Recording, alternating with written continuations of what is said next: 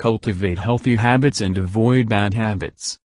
Welcome to the Self-Development, Anxiety and Stress Management channel. This video explains how to cultivate healthy habits and avoid bad habits. Let me start with these quotations. Action may not always bring happiness, but there is no happiness without action. William James. Learn to value yourself, which means, fight for your happiness. Ayn Rand.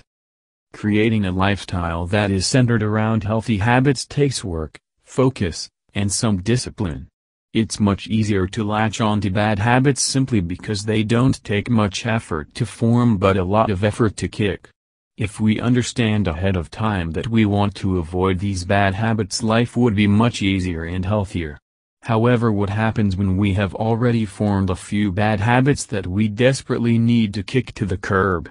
Here are some tips on kicking the bad out and inviting a new set of healthy habits in. 1. Create a plan of action.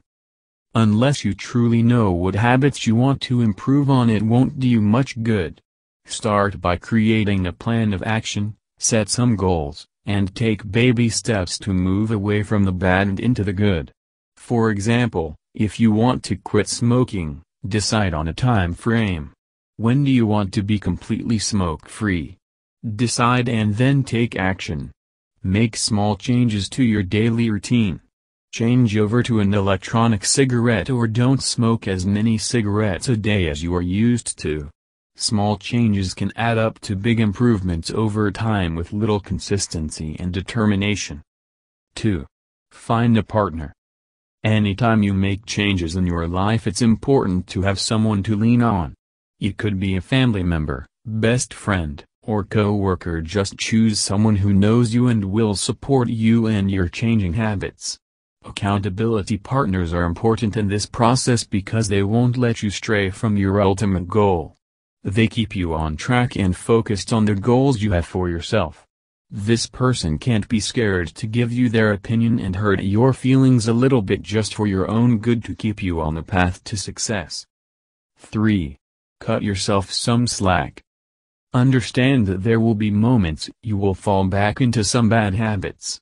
Just don't let this deter you from your overall goal. Keep moving forward even if you slip a little bit and find ways to make your journey worthwhile. Reward yourself if you stay on track for a couple of weeks at a time. Give yourself something to look forward to as you make these lifestyle changes. Don't be so hard on yourself when you do mess up. It's important to keep your eye on the goal and not let a few mess-ups ruin your day. Conclusions Kicking bad habits out of your life is not impossible. It just takes some focus and will to succeed. The pros of creating a healthier lifestyle far outweigh the pain and discomfort you will feel as you move from bad habits to good. Start off by following a few of these tips and give yourself a pat on the back for beginning this journey. The first step to a better life is understanding the changes you must make and taking action to make it a reality. What is your take on this? Kindly post your view in the comment section below. Did you find this video useful? Then give it a thumbs up, and share it with your friends. Also, don't forget to subscribe to our channel, the Self-Development, Anxiety and Stress Management channel.